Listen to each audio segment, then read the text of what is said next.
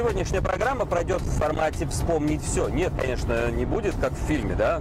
Расскажу про чемпионат Classic Grand Prix 2021 года, класс стандарт, Тверская команда. О предыдущих двух этапах Moscow Classic Grand Prix я уже говорил в предыдущих программах. Сейчас пообщее про весь э, чемпионат, в том числе вместе с третьим этапом.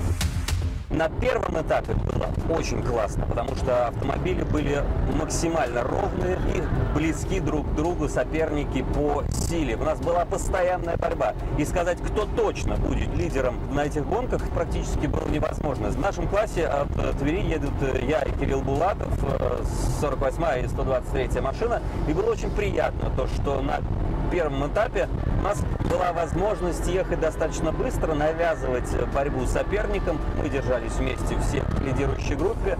Э, кого-то разворачивал, кого-то были нервы. В общем, действительно был максимально интересный этап.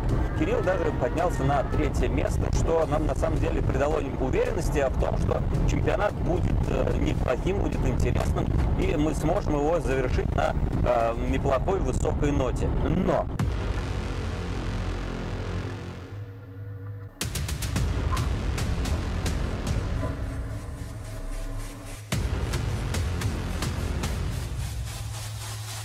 второй этап просто его перекрестил весь этот чемпионат.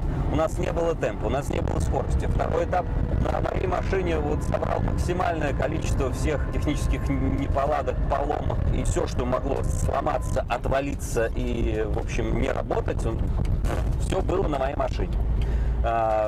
За этот второй этап я получил 0 очков. И плюс еще в, я выходил на последнюю гонку, когда уже все разобрались со всеми техническими неполадками. На, на второй гонке мне так не повезло на старте, что поддела Волга, я улетел в Москвич, и машину пришлось наполовину переваривать. А у Кирилла на втором этапе было тоже что-то такое непонятное. 123-я машина на втором этапе ехала нормально, ехала хорошо. У нее практически не было каких-то там технических проблем, но скорости не было. Случились стандартные «Жигули». Если в нее не лезть, она будет ехать долго, но не быстро.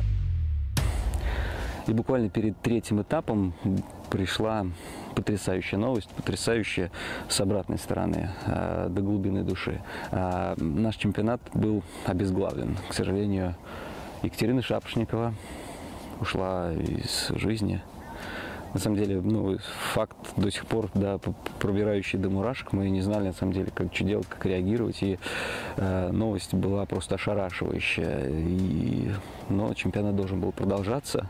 Вот это едва упавшее знамя Шапошниковых знамя питерских гонщиков подхватил никто иной, как Николай Шапошников, отец Кати.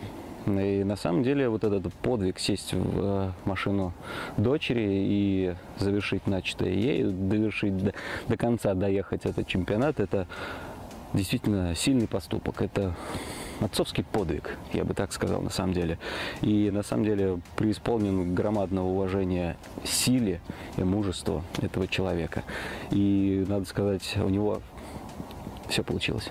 Нужно отдать должное этому человеку, потому что он э, в своем классе в «Жигули 1600» э, вел борьбу за лидирующую тройку и как бы подхватить еще и э, лидерство класса стандарт было непросто, потому что он заканчивал свою гонку в 1600, потом буквально пересаживался в машину дочери и гнал уже с нами в нашем заезде. К сожалению, на втором этапе ему сильно не повезло, у него у машины на первой гонке были какие-то постоянные проблемы, несколько раз заезжал в боксы, а, менял э, ремни э, генератора и закончил гонку, а, по-моему, последним с отставанием 2 или 3 круга, но закончил, получил очки за эту гонку, э, так или иначе еще чуть-чуть более обезопасив лидерство Шапошниковых в нашем классе. На второй гонке у него пошли дела получше, на старте буквально прошил весь пилотон вплоть до второй позиции и уже догонял лидера. Если честно, то гонка Шапошникова на последней гонке это просто подвиг, подвиг отца э, за дочь, э, догнать и обогнать ее класс и э, сделать э, Катю двукратным чемпионом Москва классе Гран-при в классе стандарт. К сожалению, второй раз посмертно.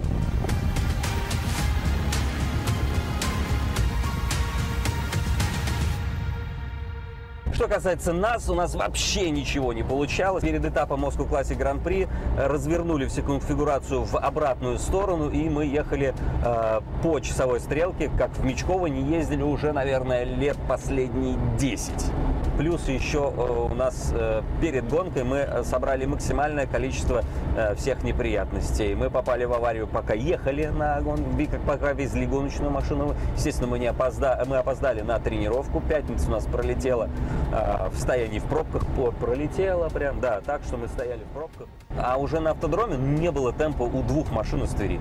Ни у меня, ни у Кирилла. Мы ехали буквально вот секунды в секунду с разницей там в 0,4, 0,5 в разных гаражах построены машины, разные стили пилотирования, в одно и то же время едем.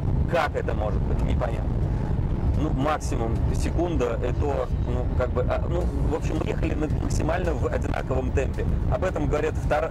первая гонка, когда э, я пропустил Кирилла, думал, что у него получится ехать быстрее, а он ехал передо мной, и я не отставал. Мы ехали вот такой вот слетанной парой, что на самом деле э, меня удивило. Что было? стабильно, не, не ломался. Воспользовавшись неудачами соперников, Кирилл смог отстоять третье место э, в своем классе, э, пропустив вперед соперника всего лишь на три очка. Ну, как бы по бумаге результат третье место в чемпионате у Кирилла, да, у меня последний, потому что у меня не было второго этапа, да, там бараночки.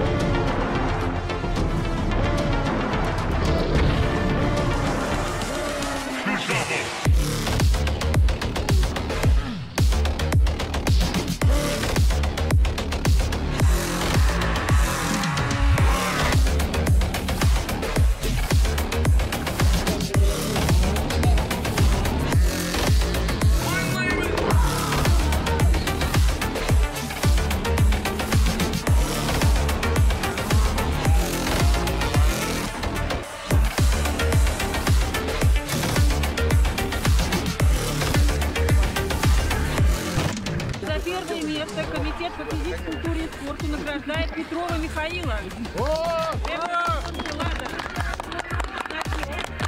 Награждается Колесниченко Александр. Уважаемые спортсмены, гонщики, судьи, огромное вам всем спасибо. 23 февраля встречаемся здесь на ипподроме. До новых встреч в программе «Гараж». Пока.